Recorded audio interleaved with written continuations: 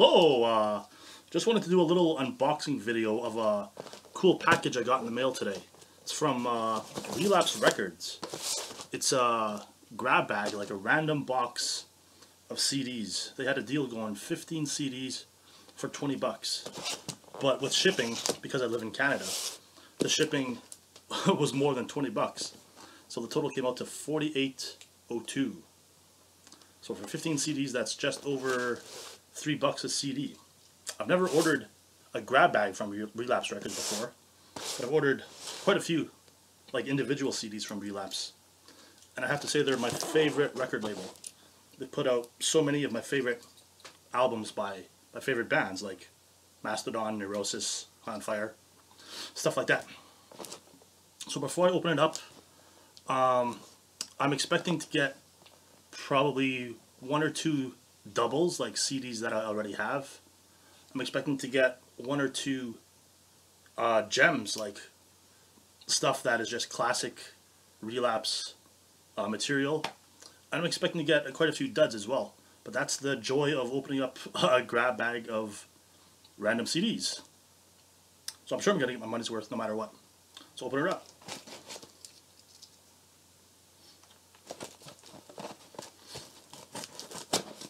This came, uh, I think, yesterday. And I've been waiting like more than a day to open it up now. Ooh, and I think it's all from Relapse Records itself. Oh, paper. All that paper I've always wanted. And bubble wrap. okay. First one, Boris with Merzbow. Boris is a, like a sludge noise band from Japan. And Merzbow, I don't know. I've heard of that group. I don't know if, like, if it's like one uh, person or a group. But here's Boris with Merzbow. Gensho. Next one is Zoroaster or Zoroaster. Distributed in North America by Southern Lord. Nice. Uh, looks to be called uh, just self-titled. It's got four songs on it. Mons Venus, Bullwhip, Honey and Salt, and Defile. Cool, and they're like more sludgy, doomy stuff. That's a good, good haul. Number three. Davey Allen and Joel Grind. Uh, can't tell what the CD is called, but going by the cover, it looks like comic book horror, sci-fi stuff. I don't know, should, should be interesting. Next one. Exalted, we are the grim throng. Nice. I've heard of these guys, Exalted. I have no idea what they sound like. Uh, going by the cover, probably blackened well, it says blasting black thrash metal madness from Chicago. Bang your head. That I will do. Exalted. Next one. True Widow. Aval Gear. True Widow, Avvolgere. This is on Relapse Records. Uh, doesn't say what it sounds like, but uh, again, going by the cover, I'm going to guess some sort of blackened thrash. Alright. Next one. Ringworm, Snake Church. It's Ringworm. Another Relapse album from 2016, so just last year. Ringworm, I think, is kind of uh, sludgy black metal again, maybe. I've heard of them definitely, but I haven't listened to them. Next one is I Xasthur? X A S T H U R. Looks like it's uh, Leviathan. I think that's how you pronounce the band name, Xasthur. I've definitely heard of them.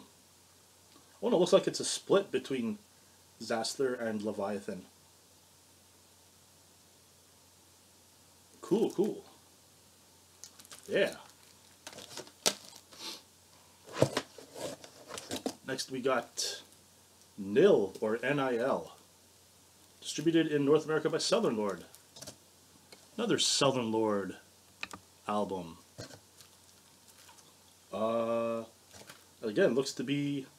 Well, if it's Southern Lord, they usually put out like more doomy, uh, drony stuff. So it should be good. Oh, next, I recognize this one. Dillinger Escape Plan. Ire Works. I have this one already. This one, uh, it's my first Dillinger Escape Plan album that I got. Uh, one of my favorite songs is Horse Hunter. The 12th track out of 13. It's got uh, Brent Hinds from Mastodon uh, contributing guest vocals on it. This is a head scratcher, head banger of an album. It's good stuff. Next, we got Inter Arma. Seth, I'm looking at you, buddy. I called it Paradise Gallows. Inter Arma, look at that. Amazing. Just talking with a buddy at work about uh about this and how it'd be cool if I got an Inter Arma CD, and sure enough, Inter Arma. Yeah, Paradise Gallows. And uh, from what I've heard, uh, they're like mid-period neurosis, and I love mid-period neurosis. So that's good shit. Next up, Gloria Dio. Can't even pronounce that. Gloria Diaboli. Uh, album is Gate to Sheol. That's it. That looks like black metal as fuck. Can't even read the record label. It's uh, Kati Command. All right. Next up, we got Hold Serpent or Mold Serpent.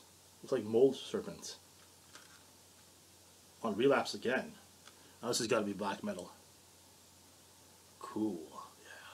Yeah. Next up. The album leaf Between Waves. For promotional use only, no resale. Huh, so this might be a, a rare album. I've heard of the album leaf. Uh, the reviews on the back say the innovation of a singular and brilliant mind. The album leaf crafts beats to represent the mechanisms of memory.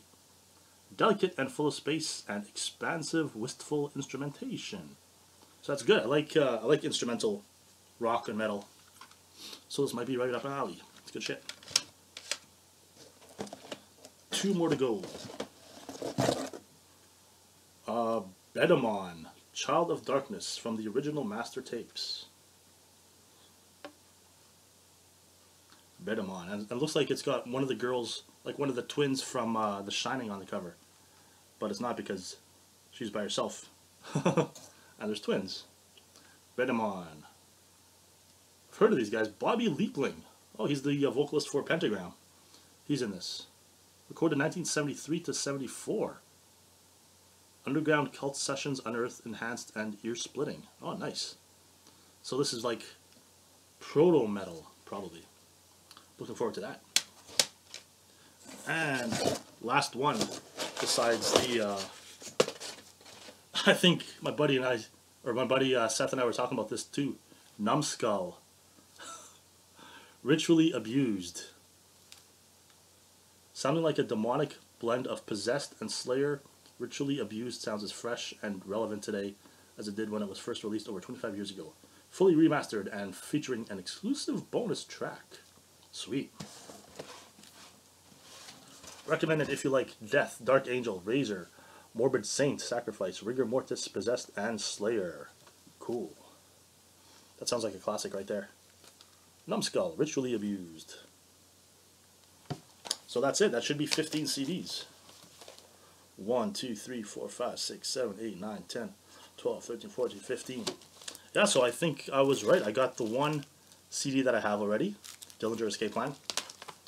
And, uh, gotta be honest, I'm a little disappointed. I thought I'd get, like, more bands that I've heard of, but I guess that's a good thing because uh, there's lots of music to explore.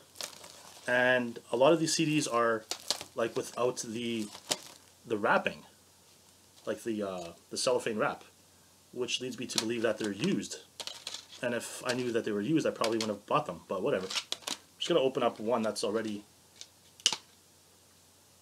That looks to be in good condition. All right, cool.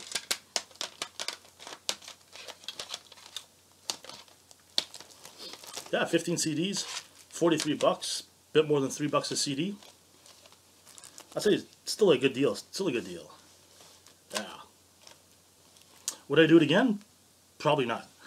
But I'm glad I did it because I've always wanted to do it. There it is. Yeah, so uh, it's important to buy physical media, I think, as opposed to to uh, torrenting it or downloading it, because yeah, you want to like support the the record labels, you want to support the bands, especially. Uh, if uh, if you go to a lot of shows, buy buy their merch there, buy their CDs, and buy their T-shirts. Support the bands because it's important. It's important to get paid for your uh, creative endeavors. Shows people that you care. So thanks for watching. Nema.